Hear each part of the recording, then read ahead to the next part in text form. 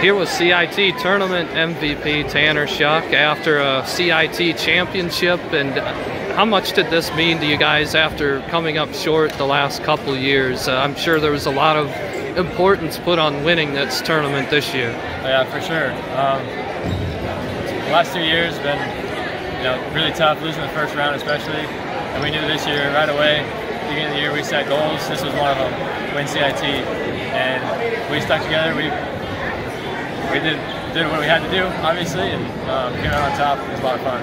How do you explain just how dominant you guys were? Uh, both games you basically had in hand at halftime. Yeah, um, defensively, honestly, that's the difference. Um, we knew that if we moved the ball against these teams, we'd be able to score. Uh, play together, we get open shots.